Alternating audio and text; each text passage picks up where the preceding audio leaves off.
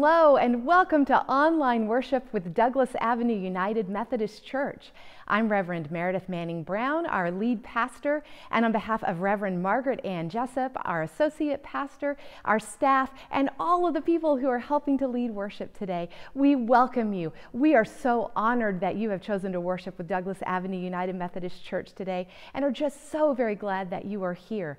I'm particularly excited because today we start our worship commitment and celebration series entitled 10 Sovereignty, Sabbath, and service, where we're focusing on the Ten Commandments as they call us to greater worship, greater simplicity, greater generosity, and greater joy. It's a great day to be worshiping together. If this is your first time worshiping with Douglas Avenue United Methodist Church, I hope that you'll make sure to fill out our contact form. It's pinned in the comment section and at the very top of our uh, of our online worship today. If you've been worshiping with Douglas Avenue for a long time, I hope that you'll fill out that contact form as well. There's a place for you to put your prayer concerns and requests there that go to our uh, pastors and to our prayer team.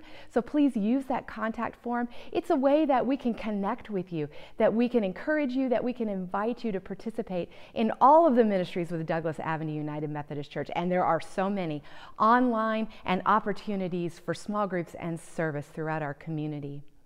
When we worship online together, we covenant together to be a blessing and to participate. Now, our covenant to participation, we're saying that we're going to fully participate in what we're doing here. So we encourage you to focus in into this online worship, set aside other distractions, turn off other devices, maybe light a candle to help you focus. And then when it's time to sing, stand up and sing. When we're praying, pray. When we're uh, asking for comments in the comment section, put those in the comment section.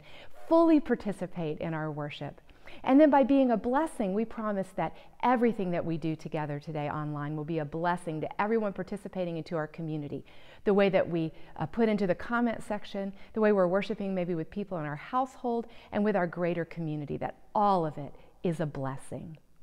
We also, when we come together, share the love and peace of Jesus Christ with one another. I encourage you to do that with whomever you're worshiping with today. If you're with someone on your device right there, if you're uh, worshiping online, you can do it in the comment section. Say, Peace be with you, and respond, and also with you. And we're going to be led in that right now by some very special folks of our Douglas Avenue United Methodist Church family. Peace be with you.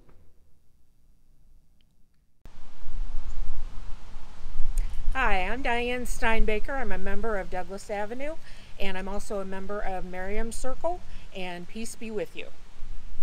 And also with you. Hi, my name is Linda Smith, and I'm a member of Miriam Circle. Peace be with you. And also with you. I'm Rosemarie Stolding. I am blessed to belong to two circles in the uh, Douglas Avenue United Methodist Church, and peace be with you. And also with you. My name is Barb Eldridge. I'm a member of Douglas Avenue United Methodist Church and Miriam Circle, and on the prayer team. Peace be with you. And also with you. I'm Brianna. I'm Brooklyn. I'm Dana. I'm Bradley. I'm Brandon. And this is Brayley. And peace, be with, with you. you.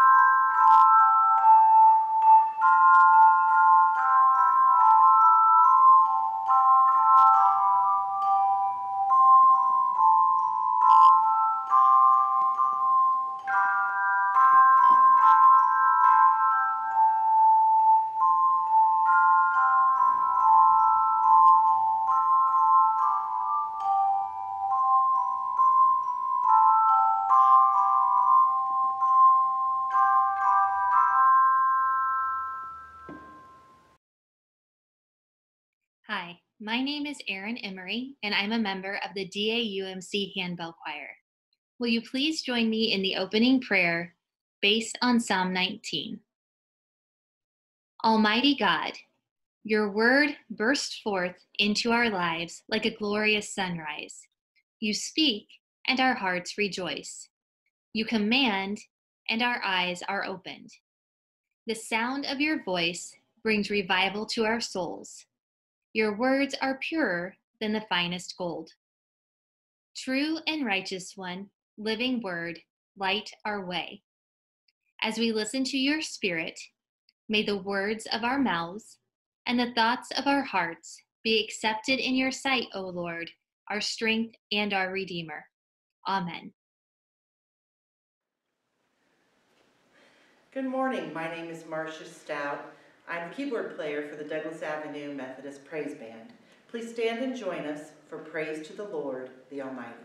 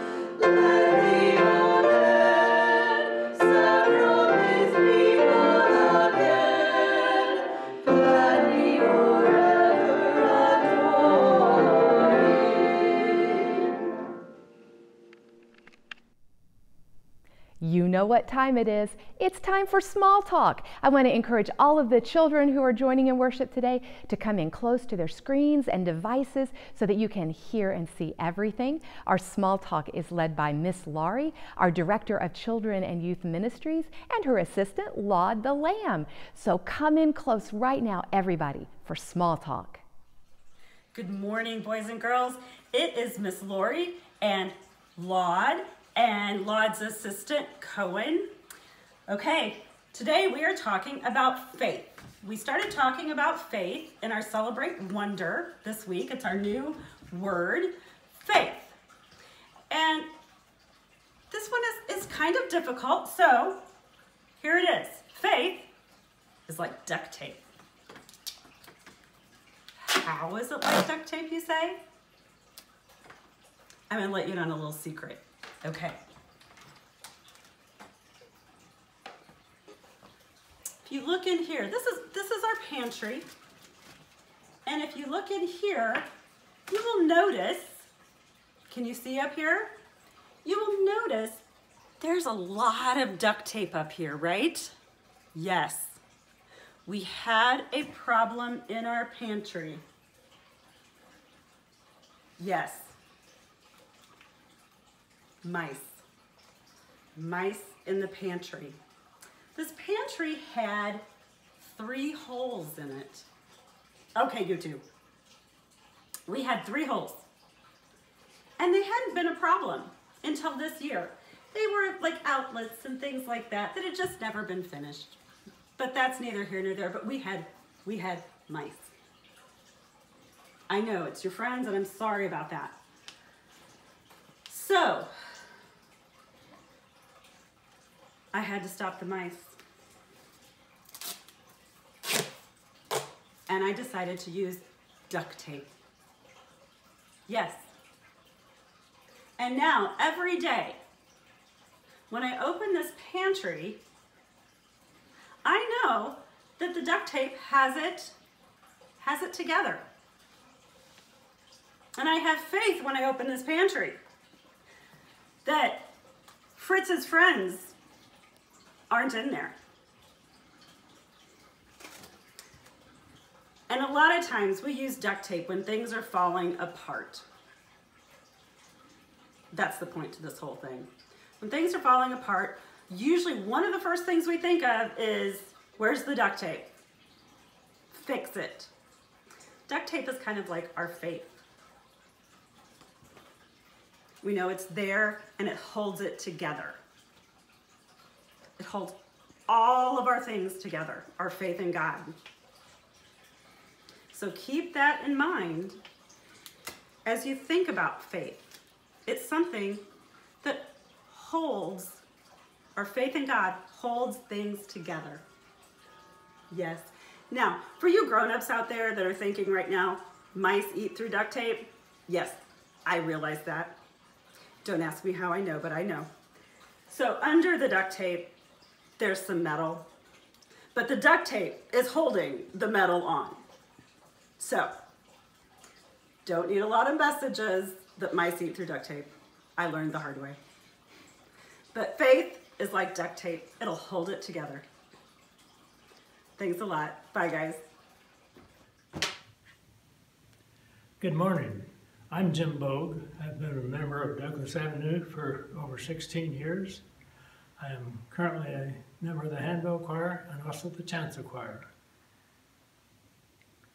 Today's reading of the Bible is from the fifth chapter of Deuteronomy, the Ten Commandments.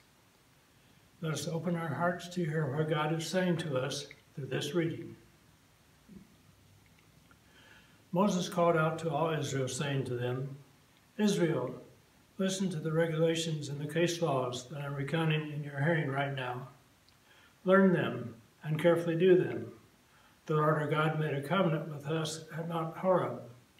The Lord didn't make the covenant with our ancestors, but with us, all of us who are here and alive right now.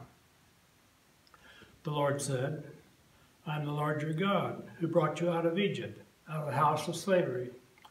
You must have no other gods before me. Do not make an idol for yourself, no form whatsoever of anything in the sky above or on the earth below or in the waters under the earth. Do not bow down to them or worship them, because I, the Lord your God, am a passionate God. Do not use the Lord your God's name as if it were of no significance. The Lord won't forgive anyone who uses his name this way. Keep the Sabbath day and treat it as holy, exactly as the Lord our God commanded. Six days you may work and do all your tasks, but on the seventh day is a Sabbath to the Lord your God. Do not do any work on it. Not you, your sons, your daughters, your male or your female servants, or your oxen, or your donkeys, or any of your animals, or the immigrant who is living with you, so that your male and female servants can rest just like you. Remember that you were a slave in Egypt, but the Lord your God brought you out of there with a strong hand and an outstretched arm. That's why the Lord your God commands you to keep the Sabbath day. Honor your father and mother, exactly as the Lord your God requires, so that the, your life will be long and so that things will go well for you on the fertile land that the Lord God is giving you. Do not kill. Do not commit adultery. Do not steal. Do not testify falsely against your neighbor. Do not desire and try to take your neighbor's wife. Do not crave your neighbor's house, field, male or female servant, ox, donkey, or anything else that belongs to your neighbor. May God bless our hearing and understanding of the Bible reading we have received today. Amen.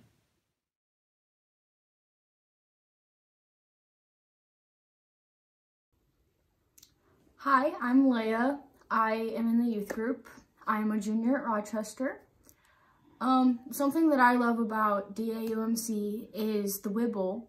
Um, not only did they give me a job last summer to watch the kids, but also just the message behind it and the fact that even when you're going through hard times, there are lots of people that can help you and that love you and can help you get back on your feet. Another reason is because I feel that DAUMC is one of the safest place, places that we can be together. For example, I grew up in DAUMC and for the past 16 years, it has always been like I felt that I was the odd one out or I didn't fit in. But then as soon as I got into the sanctuary, it was everybody is one thing.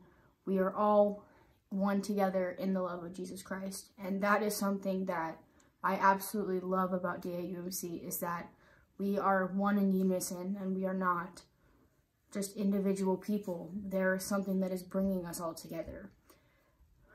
Um, like I said, I grew up in DAUMC and I have always felt like I was loved and appreciated. There was not one time where I felt like I was just not supposed to be there or that I didn't belong there. Because one of the things we do as DAUMC is we say that everyone is welcome, no matter age, gender, identification, sexual orientation, does not matter. DAUMC is a safe place where anybody is welcome and nobody is left out. DAUMC was also there when I was going through hard times. The past couple of years have been very hard, especially for me, and this year has been even more hard for everybody, but especially for me with some things that I'm going through. And DAUMC has had so many people that have come up to me and asked me if I was okay and asked if there was anything that they could do.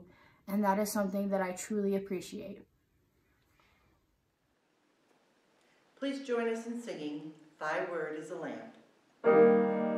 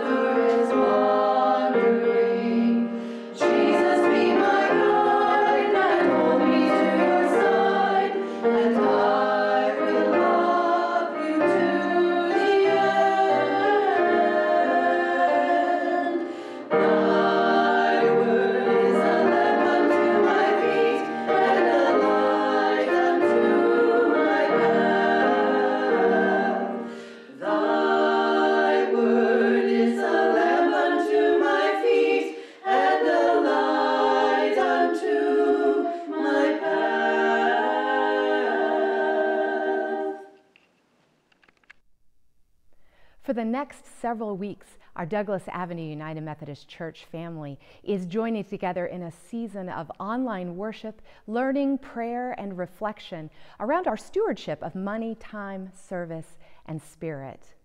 As I was studying the book of Exodus in the Bible in preparation for several of our worship services over the past six weeks, I found myself coming back again and again to the Ten Commandments.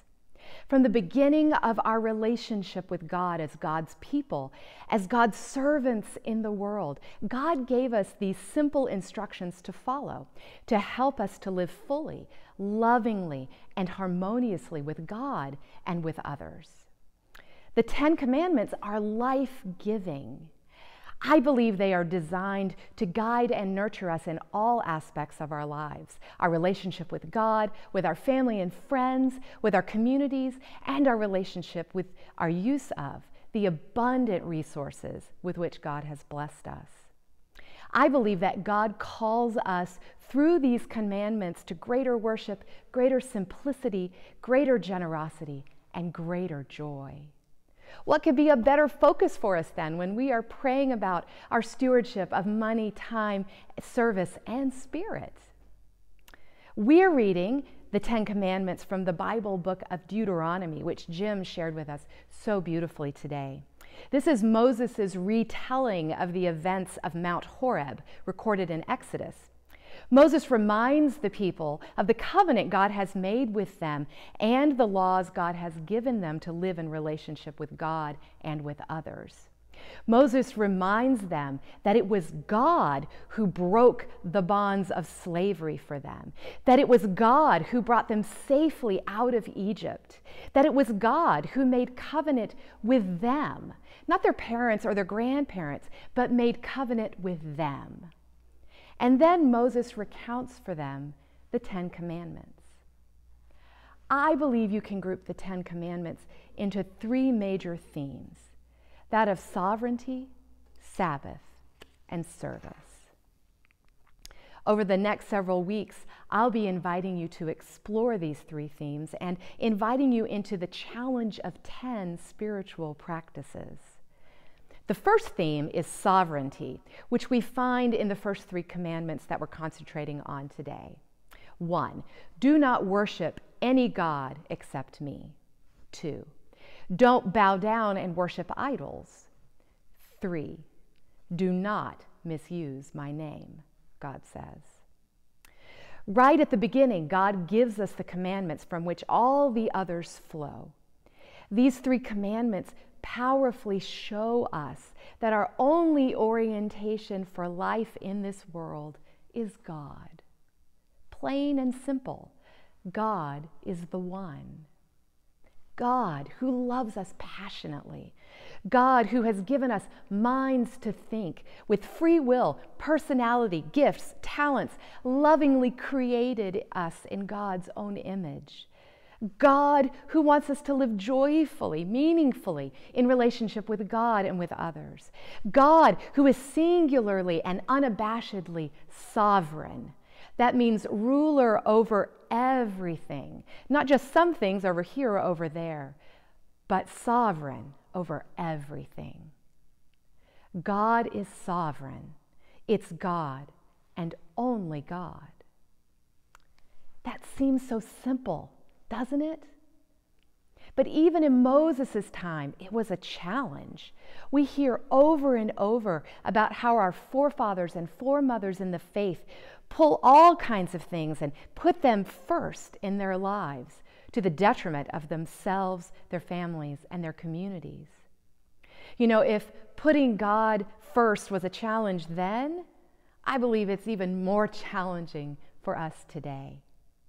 It seems that more and more of our world, more and more of our culture, more and more of our lives, people claim are not under God's guidance, direction, influence, or sovereignty. We compartmentalize our lives.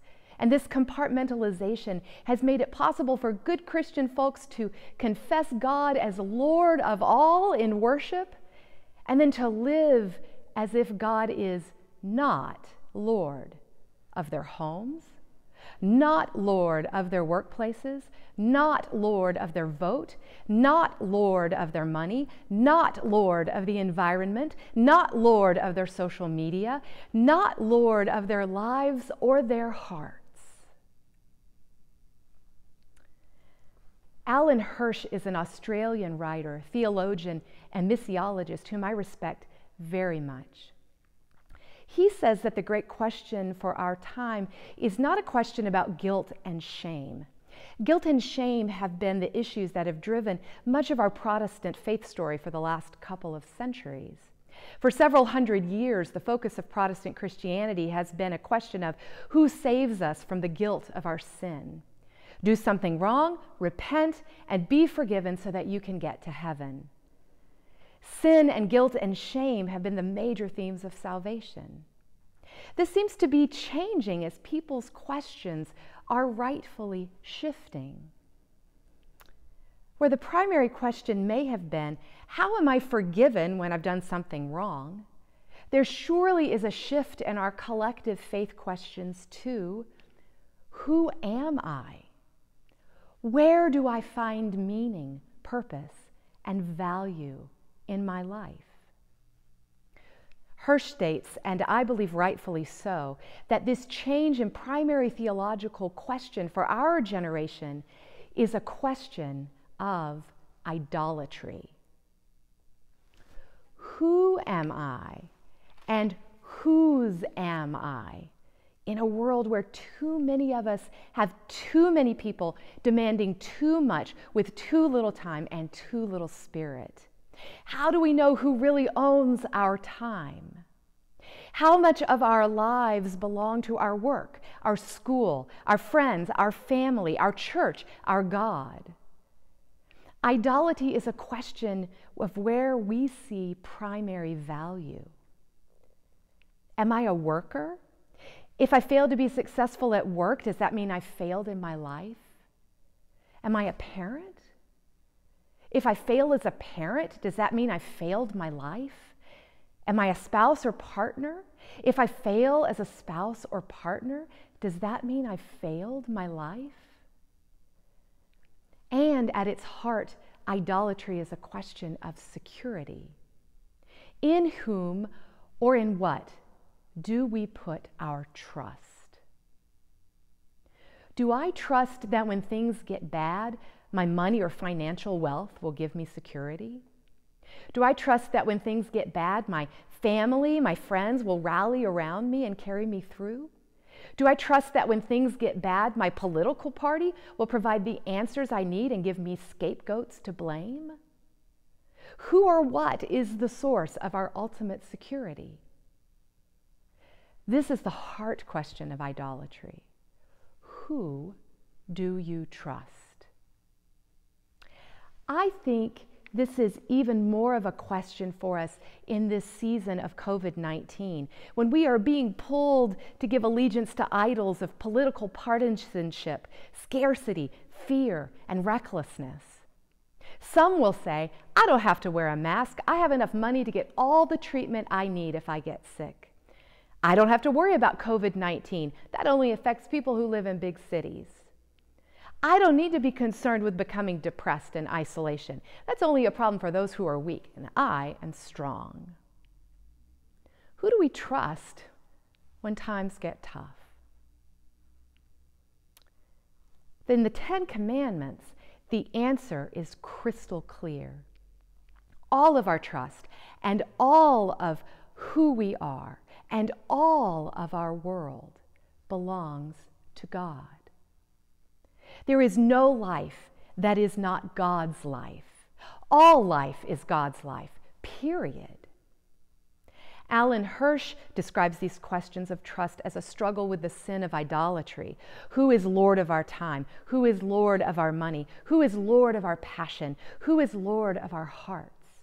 And the Ten Commandments answer that God is Lord, that God is sovereign, that we should have no other lords but God. For Christians, there is no distinction between the sacred and the secular. There is no part of our lives that God is not interested in and in which God is not influential because we know that God passionately loves us, cares for us, and powerfully transforms us. We have no idols. There is only God. Our foremothers and forefathers in faith, the ancient Hebrews, knew this was hard, that by only worshiping and following God, they would be different from all the other peoples of the world. They knew they would suffer because they would only worship God. So they found ways to remind themselves that God is Lord of everything. For example, they made laws around kosher foods to remember that God is the Lord of all that they eat. They made laws around how to cut or not cut their hair and what kind of clothes they would wear to remember that God is Lord of fashion and style. They made laws around how they would spend their money so that they would remember that God is the Lord of all finances and economics. The most important of these laws is the practice of the tithe, which means setting aside the first and best 10% of all money and property that they earned to be given back to God. This was above and beyond the charity, support, and generosity that they would share with their neighbors and with their community. This 10%, the tithe, was a spiritual practice, a hands on action that everything came from God, was of God, and belonged to God. I know in my life that the spiritual practice of tithing, of giving the first 10% of our household's money back to God, that this spiritual practice has been a blessing. Sure, it has also been a struggle at times, but always a blessing. Because of the spiritual practice of tithing, I'm reminded every day that my things and my money do not own me. God does. My giving reminds me every day that I am a precious and beloved child of God. My tithing makes real that God is God, not any other idol, power, or principality, only God. Especially in these days and in this uniquely challenging time, God is sovereign, only God. Inspired by the Ten Commandments and the giving standard of the tithe, our church family is taking up the challenge of 10 as a way to put the Ten Commandments into action in our lives. Next week, when we reflect on Sabbath, we'll take up the challenge of 10 to use 10% less resources. The following week, as we reflect on service, we'll take up the challenge of 10 to give 10% more time into God's service. We'll flesh these out as we get to them. Today, as we reflect and pray about God's sovereignty, our challenge of 10 is to take up tithing our financial resources to the work of God through our church, to give 10%. But if that's not a step that you can take all at once, then your challenge is to increase by 10% what you are giving now as a way to step into the next phase. We are not able to take up the challenge of living the Ten Commandments unless we surround it in prayer for ourselves, for our church, for our community. We need to pray and ask for and expect that God's help, direction, and grace and mercy are coming. Because, first and foremost, our God loves us, wants us to be in relationship with us in these healthy, life giving ways that reflect how fearfully and wonderfully we have been created, each and every one of us, a precious child of God in God's image. So, we have some tools to help you with this prayer time in this season. In the mail this week, you will receive a letter with helpful guidance and some instructions, along with prayer cards that look like this. I invite you to keep one of these prayer cards at home and then place it somewhere in your home where you'll see it. It will help you remember to pray. Maybe that's on your refrigerator, by your computer, on your bathroom mirror, wherever it is. And then use the prayer that is printed on it and the prayers of your heart to center in on God's sovereignty in your life. You have the opportunity with the other card, because you're going to get at least two of these, to offer that as a prayer commitment in solidarity with your church family. So, that other card we want you to offer through the Challenge of 10 prayer time in the sanctuary this week. You can call the church office or sign up online for a 30 minute session for prayer and meditation in the Douglas Avenue United Methodist Church Sanctuary this next Thursday or Sunday. You can also participate in the Challenge of 10 drive through prayer in the parking lot of Douglas Avenue United Methodist Church on this coming Saturday. You can commit to prayer with the special Challenge of 10 online prayer card, or you can mail your prayer card into the church office. All of these opportunities that we have will follow health and safety guidelines with face coverings and social distancing required, and you must sign up for that prayer time in the sanctuary in advance. Now, you're also going to receive this prayer gift our Challenge of 10 prayer token. Looks like this and this. And this is to carry with you as a reminder that we are joined together as a church family in prayer, worship, service, and commitment. Those prayer cards and prayer tokens will be coming in the mail and will be available for our in person drive through opportunities as well. And if you don't receive them or need more of them, please contact us in the church office and we'll get them to you. It is my fervent hope that you will join in and commit to this season of prayer and dive deeply into the life giving spiritual practices afforded to us through the Ten Commandments sovereignty, Sabbath, and service. And I invite you to pray with me right now our challenge of 10 prayer. Maybe hold your hands up like this, close your eyes and focus in and pray with me. Holy God, thank you for your faithfulness, your love, and the life giving direction you give us through the Ten Commandments. Help us to live fully in your sovereignty, Sabbath, and service. Help us to take the next steps to tithe our money, use 10% less resources, and give 10% more time to your service. Amen. Please join members of the praise band as we sing Open the Eyes of My Heart.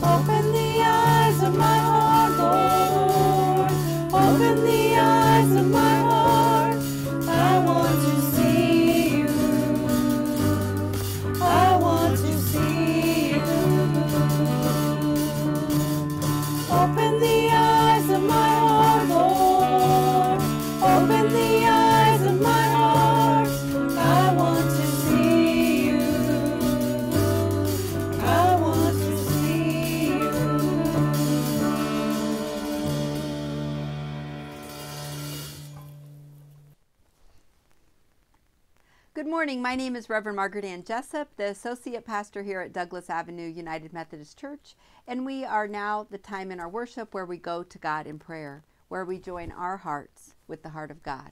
Please bow your heads in prayer. O loving and most gracious God, you have told us how to live and how to love, and we are so grateful for your guidance and your laws to help us through life.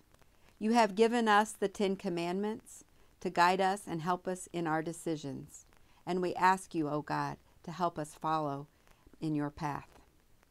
We pray for our country, for those fighting the virus, for all of us as we brace for elections, for those trying to work and educate children. Be with us all during this unnerving time as the rates of coronavirus are increasing Help us to stay calm and to stay safe. Through it all, O God, enrich our common life together and strengthen the forces of goodness that's all around us, that we see in the changing trees and the colors and your beautiful creation. We pray, O God, for those that suffer, for the sick and the lonely and the grieving, the overworked, and those that are out of work. Surround us all, O God, with your love Support us with your strength and console us, O God, with your comfort.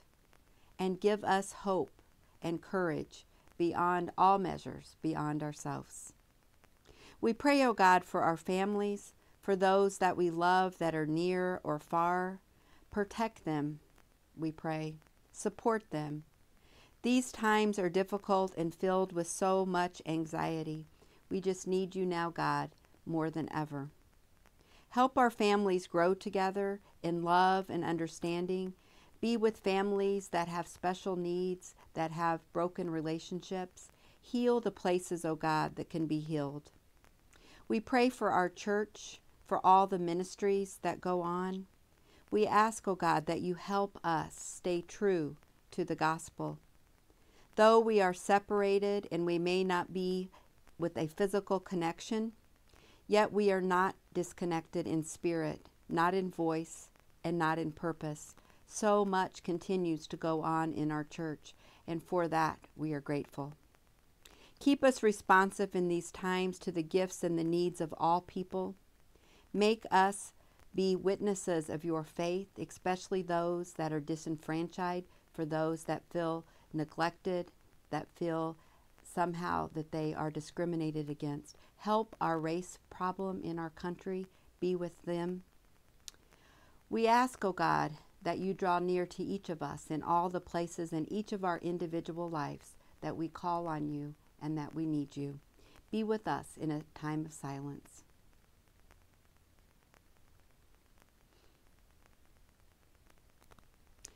These things we pray in the name of Jesus, our friend and our Savior. And he prayed and taught us to pray together the Lord's Prayer. Our Father, who art in heaven, hallowed be thy name. Thy kingdom come, thy will be done, on earth as it is in heaven.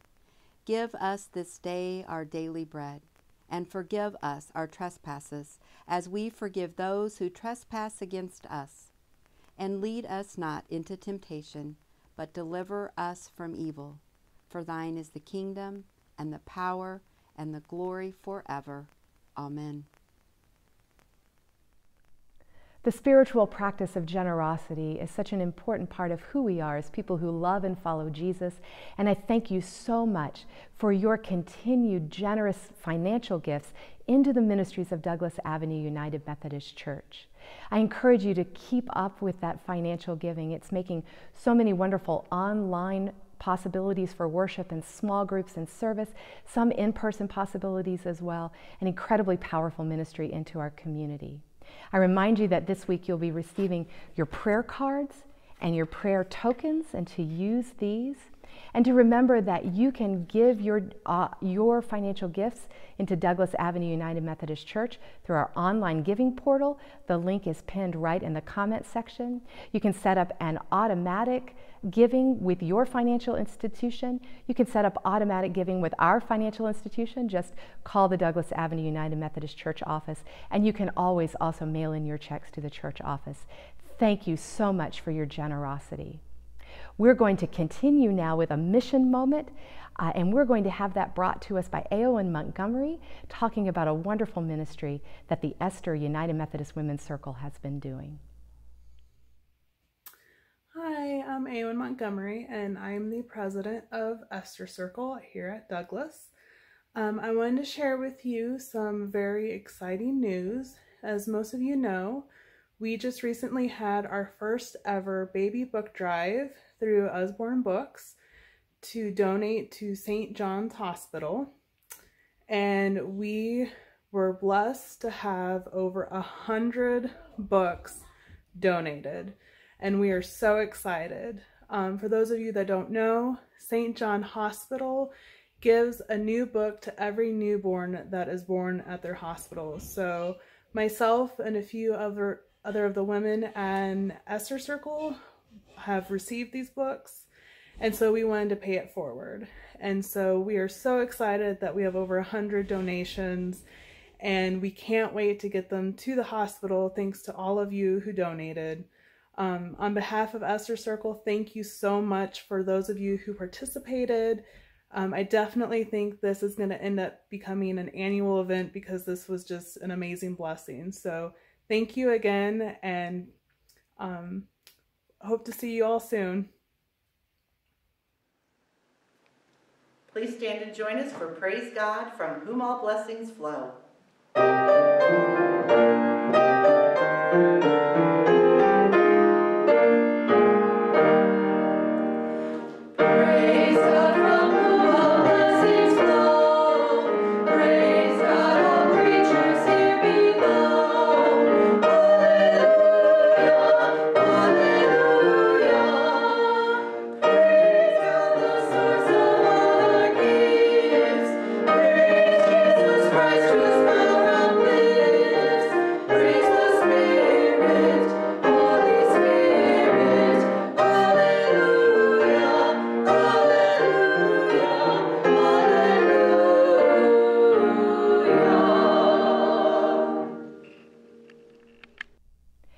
Thank you so much for joining in online worship with Douglas Avenue United Methodist Church today. I pray that this experience has been uplifting, powerful, meaningful for you, that you will continue to connect with Douglas Avenue online, that you'll connect with us in small groups, that you'll use your contact form so that we can get in touch with you, that you'll use that contact form again for your prayer requests that go to our pastors and to our prayer team. Know that we love you and we long to be connected with you and walk with you on your journey of faith. As you go into the rest of your day, go knowing that you are completely loved by the God who has created you in God's own image, precious child that you are. Go knowing that Jesus walks right beside you in this life journey of faith and of challenge, and that the Holy Spirit makes the way before you, lighting your path in all that you do. Go in peace to love and serve your God. Amen.